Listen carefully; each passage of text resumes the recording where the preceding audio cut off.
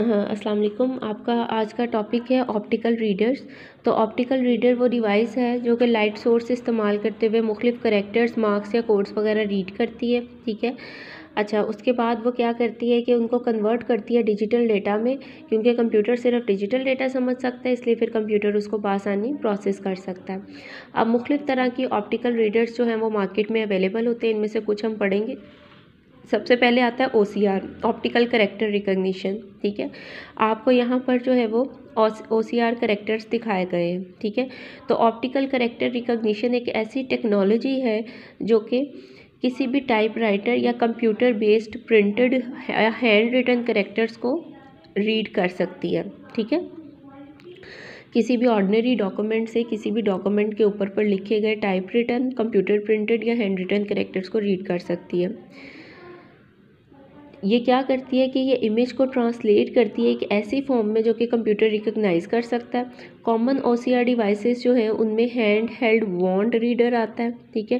ज़्यादातर ये retail stores में यूज़ किया जाता है ताकि आपके प्राइस टैग्स रीड हो सकें, इसका ये कैसे काम करता है?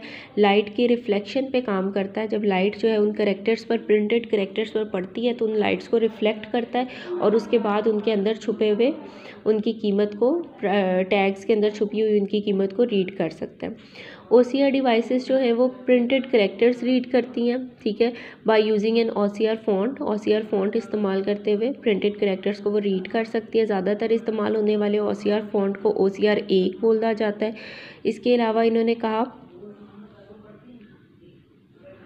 कि O C R software compares these shapes with predefined shape stored in memory and convert the shapes into character यानी जो आपकी specific O C R shapes आपकी मेमोरी में स्टोर की जाती हैं, उन्हें टैग्स पर लगे हुए ओ सी आर करेक्टर से ये मैच करता है उसके अकॉर्डिंगली ये इनको रीड करता। है फिर आपके पास आता है ऑप्टिकल मार्क रिकग्निशन ये बबल शीट्स आप फिल करते हैं तो इन बबल शीट्स को जो चेक करती है डिवाइस उसे ओ एम आर बोलते हैं ऑप्टिकल मार्क रिकग्निशन डिवाइसेस होती हैं, ठीक है? ये मार्क सेंसिंग डिवाइसेस हैं, हम आपको कहते हैं मार्क्स आपने अच्छे तरीके से फिल करने हैं इंक बाहर ना आए क्योंकि जब आपके शीट्स जो हैं वो ओ एम आर चेक करता है तो क्योंकि ये एक मार्क सेंसिंग डिवाइस है तो ये सिर्फ़ उस एरिए को सेंस करेगा जहाँ पर आपने मार्क को बबल को अच्छी तरीके से फिल किया हुआ है। ये भी लाइट बीम की मदद से डेटा रीड करता है और उसके बाद डेटा को डिजिटल सिग्नल्स में कन्वर्ट करता है।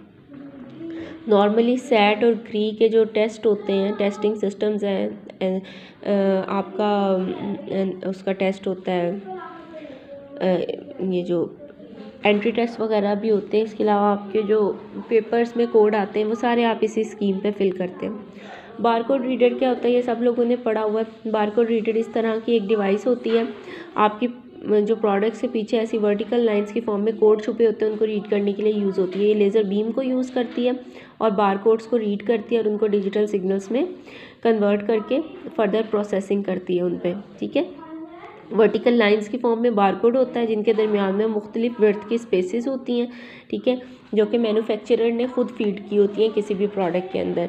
तो मुख्तलिफ़ प्रोडक्ट्स जो हैं वो ग्रॉसरीज फार्मा फार्मेसी सप्लाइज वगैरह में यहाँ पर बारकोड रीडर इस्तेमाल होते हैं।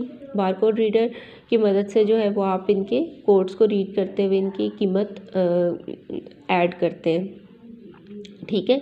तो एक आपके पास आता है क्यू आर कोड ठीक है, ये चीज़ टू डी बार कोड है, इसको क्यू आर कोड बोलते हैं, आजकल ये इस्तेमाल किया जा रहा है। इसमें डेटा जो है छोटे छोटे स्क्वायर्स की मैट्रिक्स की फॉर्म में डिस्प्ले होता है, ये जो अंदर नज़र आ रहे हैं ना, ये भी इस तरह के छोटे छोटे स्क्वायर्स हैं, ठीक है।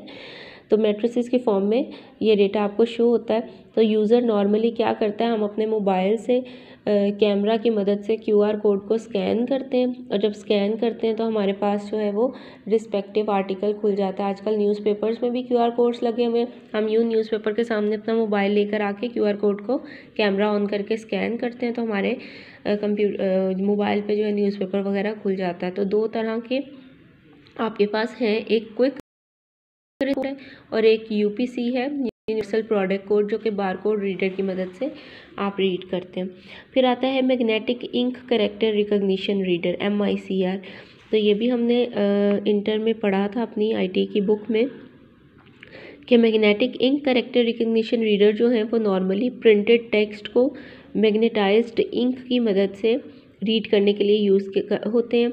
It is use by bank industry for cheque processing cheque processing में यूज़ किया जाता है, ठीक है? इसके अलावा,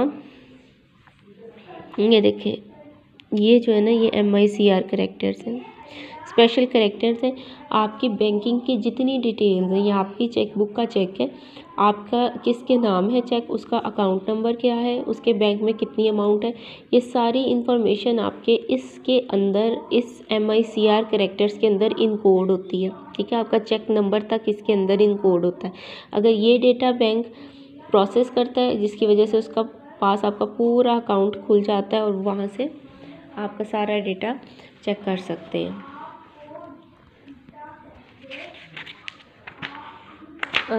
R F I D reader नहीं पढ़ना, आपने इसको क्रॉस कर दें। नेक्स्ट टॉपिक जो हमने पढ़ना है